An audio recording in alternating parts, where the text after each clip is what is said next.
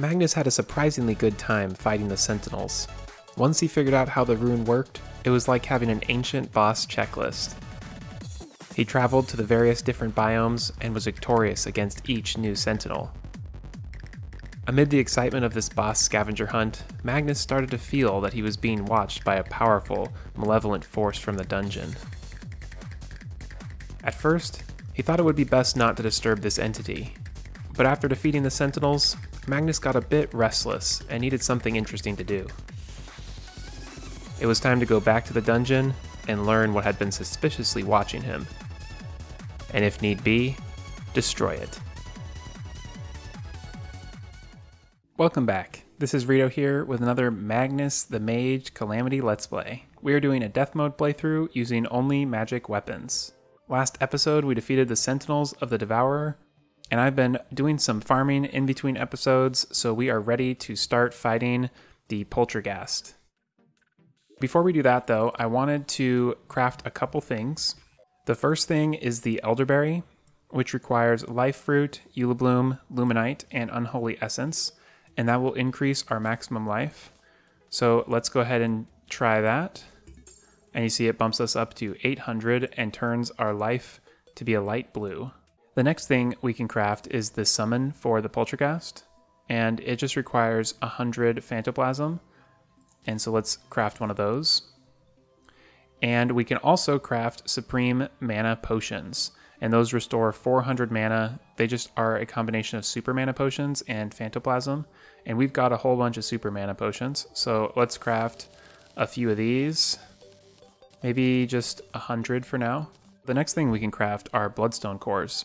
Those just require Bloodstone, Blood Orbs, and Phantoplasm, and you can get Bloodstone from a ton of different bosses, so I farmed some of that up. The Brimstone Elemental gives Bloodstone, you can get it from the Ravager and the Calamitas boss, and there's some enemies that also drop it as well. So let's craft a whole bunch of this. That's probably good. And we can't craft the Bloodstone armor until we've defeated the Polterghast, but there are two magic weapons. The Sanguine Flare we can do, and the Viscera. Those kind of sound gross. This one seems to just shoot blood orbs. Oh, this is a life drain. Very nice. And then the Viscera says it fires a blood beam that heals you on enemy hits. Ooh, this is really cool. Let's give these a try really quickly against an improved dummy and just see. Ooh, 24,000 damage. That is very nice. And this one does 20,000. Well, now it's time to head on into the dungeon and let's get this fight started. I'm really excited for this boss fight because I really enjoy fighting Plantera, so I think this is going to be quite fun.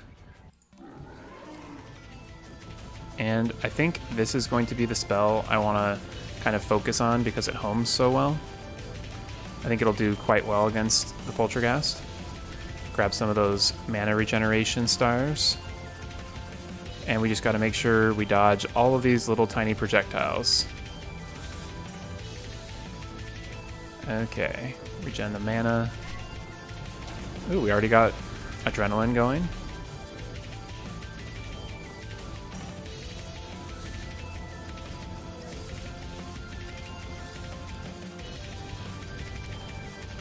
Well, we definitely don't need any health regen just yet. Oh, although they are getting a little bit more aggressive.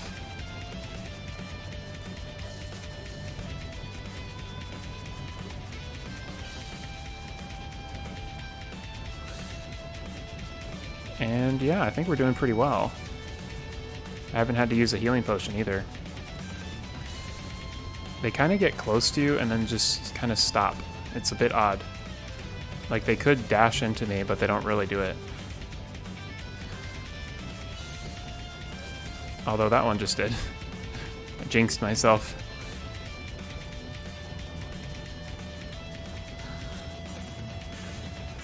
Man, this spell is so good.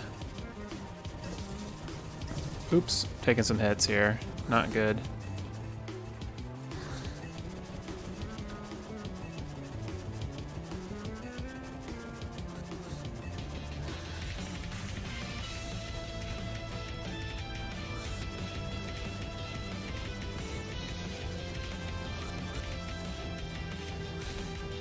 Think we're going pretty good on this fight.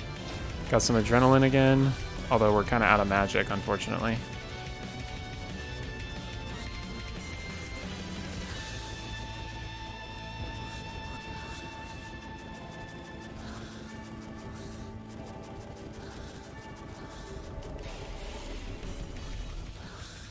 Excellent. yeah, we are pretty powered up for these fights right now. And that went really well. So let's grab a let's grab a loot magnet and just make sure we got everything. So the lore piece for the Polterghast says place in your inventory to gain an increased item grab range. That's pretty awesome. No downside to that one. I may keep that for a little bit. And let's see what we got from the treasure bag. Ooh, we got the Affliction. That's a good accessory. And then we have this magic weapon. Oh, is this like the fungus rod? And then, oh, I love this blade. Terror blade. And then the Daemon's flame bow. Oh, these are such good weapons. And then we have a consumable that permanently makes adrenaline mode take five less seconds to charge. So let's do that. That will be really good. Now we have Ruinous Souls. Let's actually run back to base, maybe craft a couple upgrades, and then maybe we'll farm him up one more time. I've got a few of the items that we need to upgrade right here. So we've got the Inferno Fork, which can upgrade with two Ruinous Souls and Twisting Nether into the Venusian Trident. We can combine the Spectre Staff with Ruinous Souls and Dark Plasma, and that will create the Phantasmal Fury, Let's do that. Man, we're getting so many cool weapons already. And then we can do an upgrade to the Shadow Beam Staff, which is just a vanilla item. And that just required the Armored Shell, Ruinous Souls, and Shadow Beam. The next is the upgrade to the last prism. It's called the Dark Spark. And we need 10 Dark Plasma, 20 Ruinous Souls, and 30 Divine Geodes. And I think we don't have enough Divine Geodes or Ruinous Souls. So we may need to wait a little bit to craft that one. We can go farm up the boss again. And then this is what we really need to get. I keep forgetting my magic upgrades, but not today. We're going to craft the Phantom Heart. And what that will do is increase max mana by 50. And so our mana should go up to 550. And there it goes. And that's the final mana upgrade. Ooh, what's this one? There's an upgrade to the Nebula Arcanum. I don't know if we've got enough Ruinous Souls left. We only have two. Now we've got some pretty awesome looking weapons here. I really like these, and I'm excited to go try them out on the Polterghast. So let's head right back to the dungeon and get a few more Ruinous Souls. Ooh, these spells feel pretty good. Oh man, I'm excited. So right now I'm using the Phantasmal Fury. And it seems to be doing pretty good work here. Let's try the Shadow Bolt Staff. Ooh, this is very much like the Elemental Ray.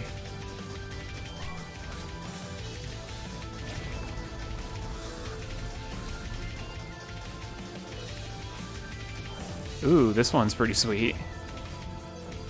Shoots just a huge fireball. It's called the Venusian Trident or something. I like that one a lot. And here we go with the modified fungus staff, which was my favorite weapon in pre-hard mode.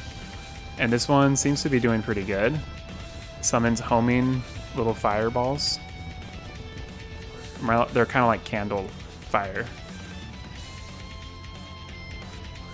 I like this one a lot. But I think the most powerful was the Phantasmal Fury.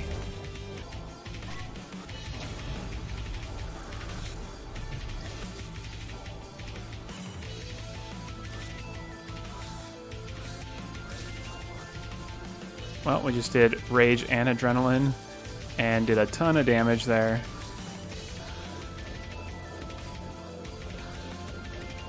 There we go. More Ruinous Souls. Perfect. And we got the Banshee Hook. That's pretty awesome. And the Ghastly Visage. Whoa. Now that's pretty sweet. That's just like like the Nebula spell, and it really homes in. I'm glad we did that again. Oh, and we have the Polterghast mask. Yeah, that looks pretty sweet. Polterghast mask. Kind of looks like a scuba helmet. Okay, it's a little pricey, but let's just buy one and see what we get. Mainly, we're going for those Ruinous Souls. We don't really need the other stuff. Now that we have a bunch more Ruinous Souls, let's go ahead and craft the upgraded Stratosphere.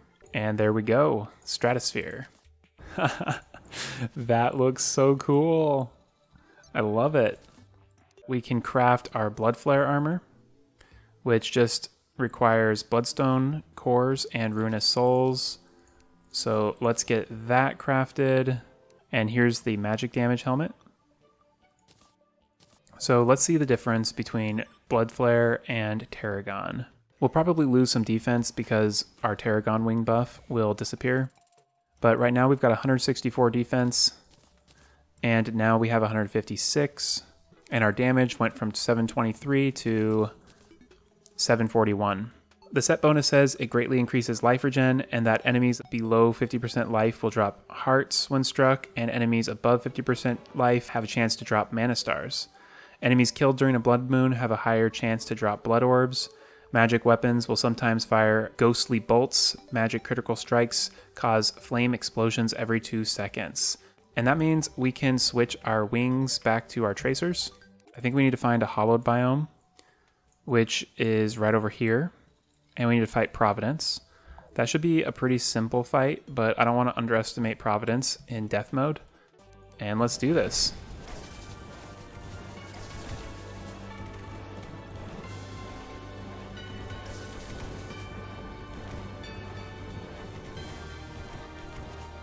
Okay, we're doing a ton more damage, but our arena is non-existent. Okay, let's try using some homing stuff.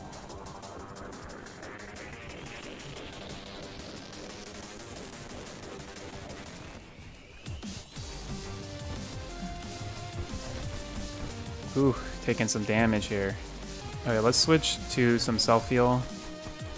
And maybe let's just stick with some self-heal for a while here. Because we're taking way too much damage. Okay, now that Providence is below 50% health, we're going to be getting hearts dropping. So they should be right under wherever she stands for a little bit. Our Blood Flare armor is really helping out.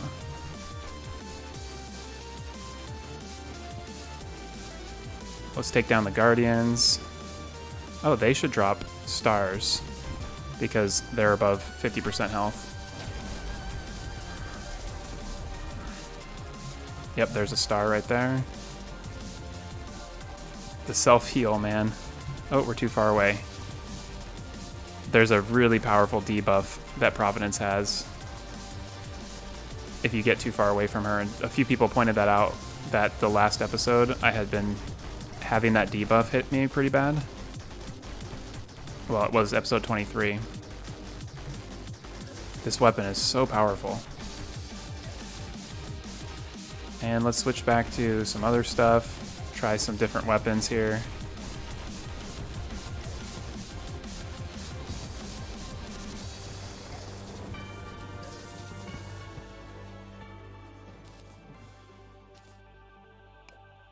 That was definitely not ideal, the way we fought that. But I didn't really want to do an arena, and it was kind of more fun to just have it be impromptu. And let's see what we got. The main thing are the Elysian wings. And now that we have our Divine Geodes, we can actually craft the Dark Spark. So let's do that, and let's see what it does. Oh yeah. This one is awesome. And the last thing that we need to craft is the Wyvern's Call upgrade. And that just requires five Ruinous Souls. And we only have four. so I may farm up the Polterghast one more time, but I kind of want to go to the Abyss first. Uh-oh, we have the Acid Rain event. I think the old Duke is going to be a bit too strong for us currently. Ooh, do we have the Cragmaw Mire? Nice. Let's kill this, because we didn't kill it last time we did this event. Oh, it pulled us in? That's awesome. Although it's not very fun, we're getting hurt. Wow, it was like chewing on us. Wasn't very nice. Maybe let's try the Dark Spark.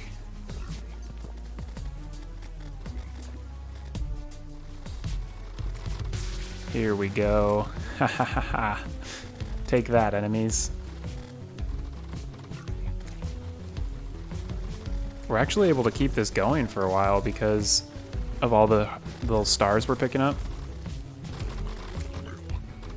This is good.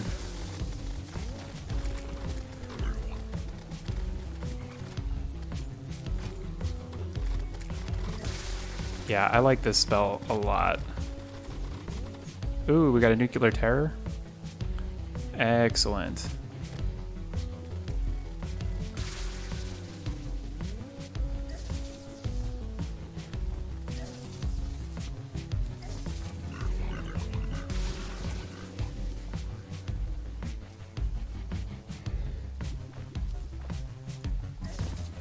Uh, let's try a different spell, maybe.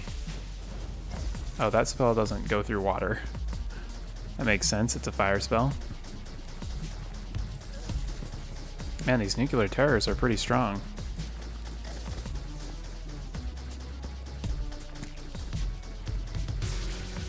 Luckily their attacks are pretty simple to dodge. The old Duke has spawned.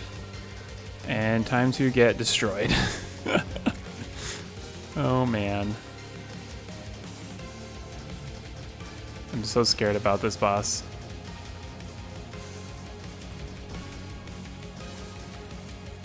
Okay, let's try different spells, maybe. Oh, this song is so epic, though. Okay, we can at least try using Rage. See how much damage we can do.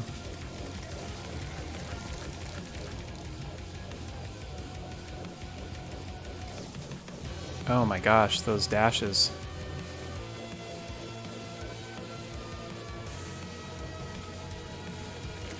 Oh, am I like not allowed to fly there? For some reason it was like glitching me. Oh no. yeah, I didn't know what I was doing during that fight. We probably need to build a proper arena, and also fighting in the rain is surprisingly distracting because you can't really see a lot of the projectiles at night in the rain. So we got some lead cores, we got a bunch of stuff for other classes, we got this summon. I'll just go ahead and use our fairy merchant so we can just sell some of this stuff. Okay, now we are back geared up to go into the abyss. And we're sinking so fast, pretty sweet. So for the most part, we're just going down deep enough to start fighting some of the hard mobs. So we're to try to take out some adult Eidolon wyrms because I think those drop some magic weapon or something. So we're to have to check that out. Okay, I think this is the deeper layer. We've got an eel coming at us.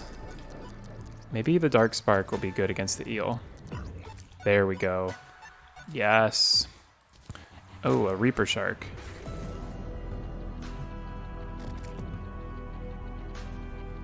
I don't know if it's... I can hardly see the health bar. I think we might have killed it. Oh no, we didn't. We didn't kill it. We didn't kill it. It's got so much health. Oh my gosh. We have to like bring it all the way out of the abyss practically. Okay, at least now we can see it. Let's go with this beam. This should do better damage. There we go. And what we need is those Reaper Tooths. Perfect.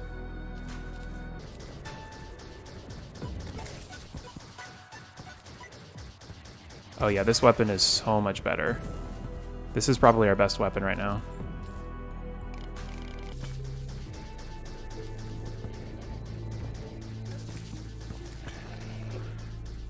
Ooh, we just got the Valediction. I did a showcase on that. That's an amazing weapon. That makes the Devourer of Gods so easy if we had a rogue class. This is definitely by far the deepest we have gone in the Abyss, and it's pretty sweet. Finding some new stuff. Ooh, lots of ore. Grab that. Okay, here we are at the bottom of the Abyss. I think there's a treasure chest at the very bottom. Here it is. Oh, crud. We got the Eidolon wyrm. And this time we gotta really kill it because I think this is the main thing we need to fight. And it looks like we're gonna be able to kill it. Excellent. Ooh, and we got the magic weapon, I think. That's perfect. The Eidolic Wail, or the Eidolic, Eidolic Wail. Not 100% sure how to pronounce that. We also got the Soul Edge. I love that sword. Maybe let's kill one or two more of these mobs and see what we can get.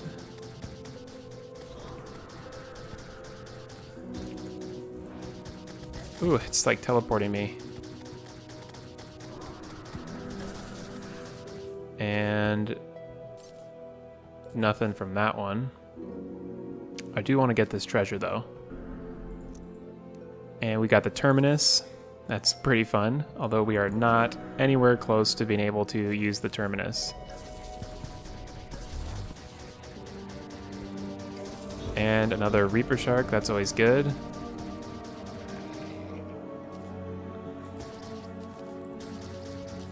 Man, this weapon absolutely shreds these mobs down here. We're gonna need to leave though in just a sec. The next thing I want to do is craft the Reaper Tooth necklace. The Reaper Tooth necklace is so amazing. It increases the armor penetration by 100, increases all damage by 25%.